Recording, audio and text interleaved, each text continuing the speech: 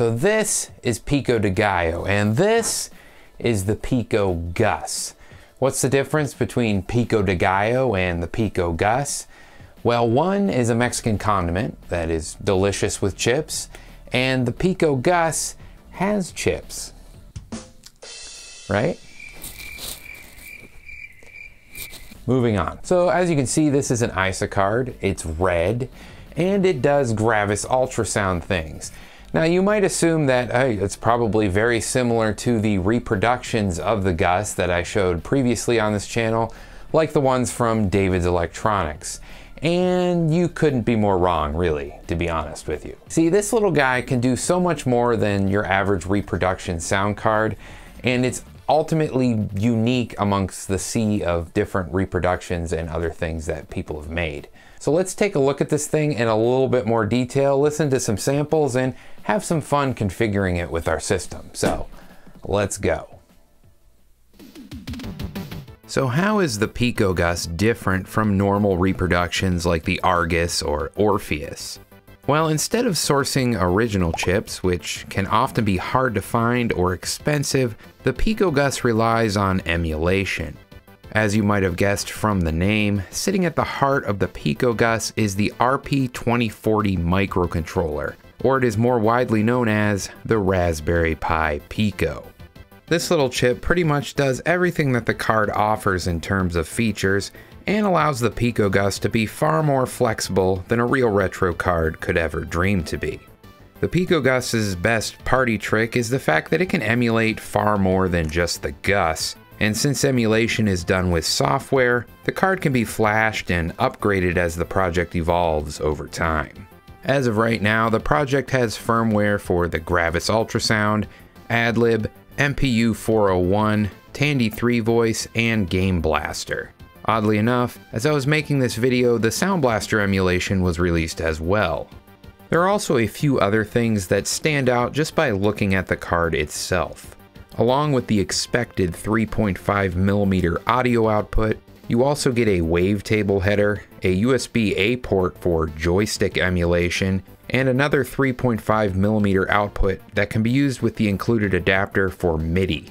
This is the 2.0 version of the card, and Ian Scott, the creator of the project, sells them on Tindie for $45. The project is fully open source as well, so if you're the tinkering type, you can also build your own. Just be aware that you might want to use the 1.1 design since it's a bit more DIY friendly than this 2.0 version.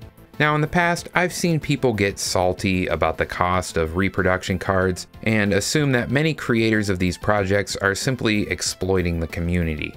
I really don't think that is the case here, and in my opinion, $45 is an extremely fair price for this. If you were to consider the cost of active development, testing, materials, and just the amount of personal time spent, I don't really think it adds up to him making a ton of money or a big giant profit off of this project. Really, I find the biggest problem with the price is the fact that they sell out very quickly. So if you really want one, I would recommend signing up for the waitlist on Tindie and then pouncing quickly when the stock notification email arrives. I should note that that's how I got this card as well. This is not a sponsored review of any sort. I just bought it because I think it's neat. But anyway, enough about that stuff. Let's get this card in a system and test it out. So per usual, I'm using my Slot 1 Celeron rig, and I'll be testing all the different modes and cool things this little red beast can do. Compared to a real Gus configuration, it's a walk in the park, I'll tell you that much. To get everything going properly, there's really only a few things that you need to do. First, you need to download the Gus software with all the patches, and extract everything into the root of your drive in the Ultra SND folder. Then you just have to set up your AutoExec to correspond to the proper jumper settings you have set on the PCB along with the Ultra SND directory. Lastly, much like a real Gravis ultrasound, you need a British piece of software to initialize the card. Now on a real Gus, you would want to run the ULTRINIT EXE which actually does work on the Pico Gus in Gus mode, but for all intents and purposes, the PGUS EXE is what you want to use. After this initialization program is run, it should be detected and usable for any supported games or software, and that's pretty much all you need to do to get it working. Now, this version of the card will ship with the GUS firmware preloaded, but as I said before, you have the capability to load different firmware to emulate other sound devices, and flashing the card with new firmware is easy.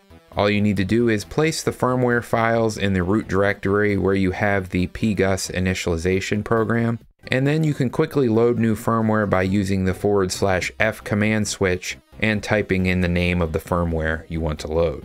After you reload the PGUS init again, it will initialize the card as the new firmware. The best part about this is after the new firmware is loaded, you don't even have to restart the PC to utilize the new card settings. You can just reconfigure a program and it's basically just like virtually switching out cards on the fly. We don't really think about the fact that you can do this on emulation programs like DOSBox, but doing it on real hardware is still kind of mind boggling to me. It's so freaking cool. Now, if the thought of flashing firmware all the time sounds scary, it's not really an issue since the card can easily be restored if it gets bricked. If you hold down the BOOTSEL button on the PicoGus and plug it into a PC, it will show up as a removable drive and then you can drag and drop firmware on the card to restore or update it. It should go without saying that this card is designed for DOS programs. However, you can still use the PGUS init to play DOS games under Windows 95 or 98 if you wish. Just keep in mind you will probably want another sound card installed to handle Windows stuff. Okay, so now it's time to address the elephant in the room emulation. Purists will always scoff at the idea of emulation or that it will never equate to the real thing, and I guess that is valid somewhat. The PicoGus will not provide perfect emulation or sound in every application or game, and since we're dealing with a wide range of hardware, it's not even guaranteed to work on every PC. Now, for the most part, I had a pretty good experience with this card, and almost everything I threw at it ran, except for Descent in GUS mode for some reason, just kind of would lock up every time I loaded it. I could test the sound and music in the setup program, but when I went to launch the actual game, it didn't work for some reason. Now, they do have a compatibility list for software and hardware, and Descent is listed as compatible, so it's probably just a me issue, but you should maybe check out that list to see if your hardware is compatible and see if it'll run the games or programs that you want to run. But honestly, these are pretty minor, piddly issues in my opinion. And the focus of this card is Gravis ultrasound emulation and it's top tier in that regard. I think you would struggle to tell the difference between this and a real Gus, and for 45 bucks, that's incredible. Now, the Sound Blaster OPL emulation is a bit more wonky, and I can tell some things are off in some games. However, it's still perfectly serviceable and far better than most any bargain bin 90s sound card. Even with its flaws, the cool part is all of this is subject to change. This project is updated fairly frequently, and you could only be a download away from a better experience. So I saved the best for last here. Let's hear what it sounds like. I recorded all these samples directly from the audio output of the Pico Gus. So I'll thank my awesome YouTube members, and I'll leave the video off here for you to enjoy the sounds of the PicoGus.